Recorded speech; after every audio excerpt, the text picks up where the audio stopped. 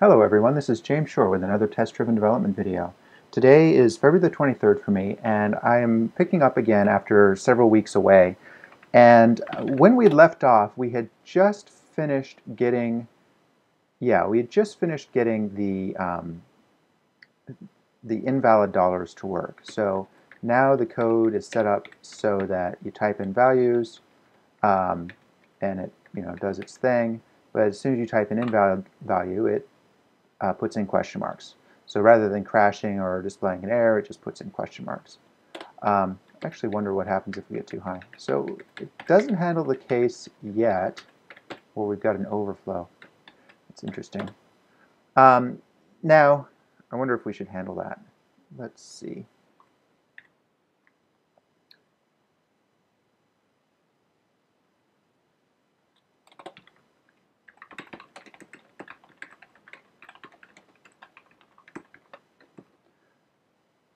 Let's see. Oh, and we did this.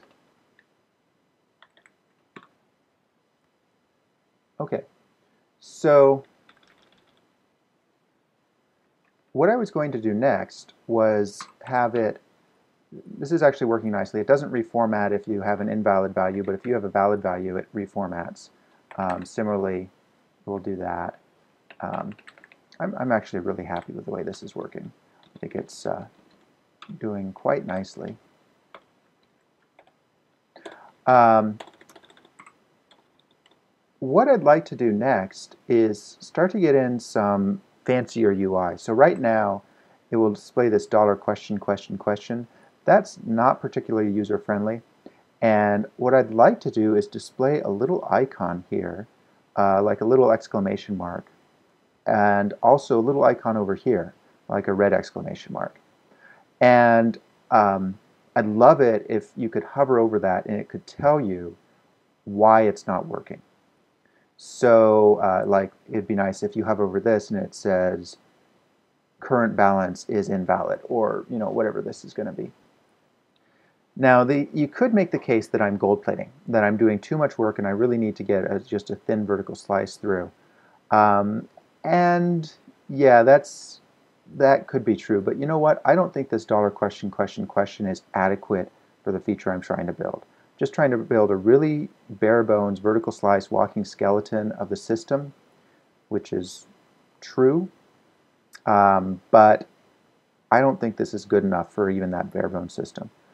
Maybe I'm just maybe I'm just rationalizing. The, the fact is, is I love a nice UI, and I really want this. Just it feels ugly to me, so I'm not happy with it yet. So I could be rationalizing maybe I should need to get a vertical, a real walking skeleton first before I start polishing. But, you know, this kind of polish is the sort of thing that if you don't do it as you go tends to get left to the end and then you've got this big debt of in your schedule of polished things that never get done. Uh, and I think a fair criticism of Agile is that it can lead to unpolished work if you aren't aggressive about keeping it included. So I'm going to put it in. Um, whether or not that's a rationalization or not, I don't know, but I'm going to put it in.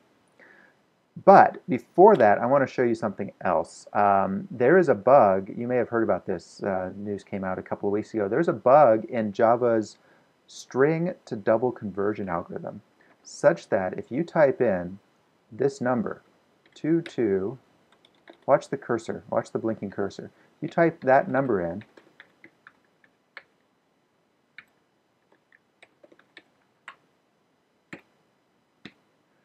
you type that in, and it goes in infinite, infinite loop. It hangs that thread. So as soon as I type 8, the program freezes. Boom. It's done. It's gone. There's no way to kill it short of just breaking out. So that's a fun one. Um, and what I'd like to do before anything else is, uh, that was unrelated, subversion. Um, what I'd like to do before anything else is actually write a test to prevent that from happening. Uh, because I'm hoping to do some exploratory testing on this with a, with a diabolical tester at some point, and um, I know that he or she will try that, and I want it to work. So um, let's see, we'll put that into, it's really a parsing thing, so let's put it into dollars test. And let's say that um, test parsing the double of death doesn't hang. Now, that may not be the best test name, but I'll come back to it. So this is the value. Um,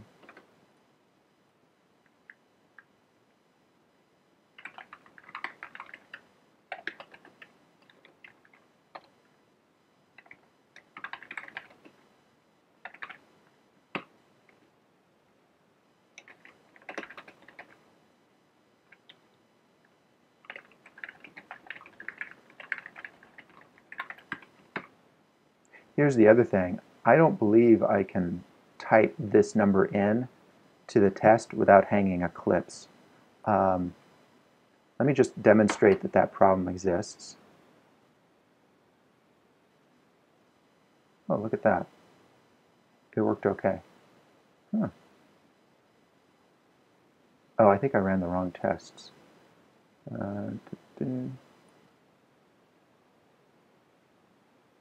There we go.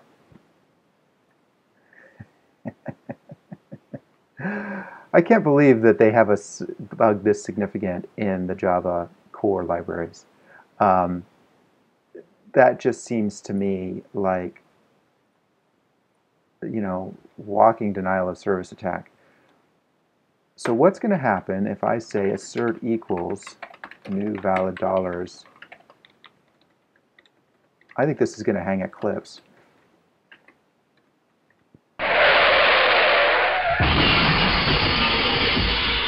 I can't even cut and paste it.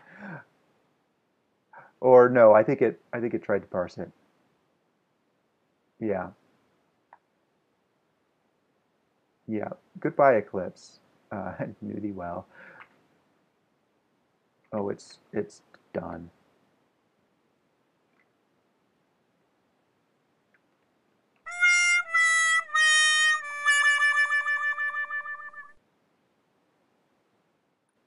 All right, there we go. So it's hanging. So what I need to do is, um, I believe there's actually multiple values that will hang it. Um,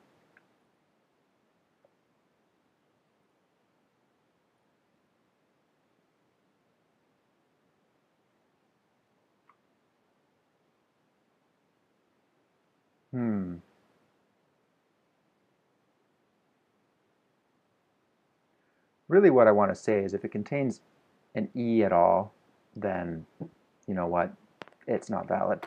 So let's do that.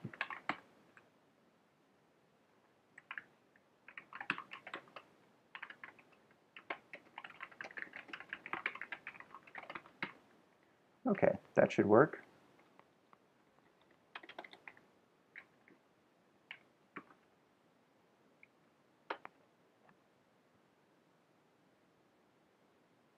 Yeah, that worked. Good. So now if I run it and I type that magic number, um,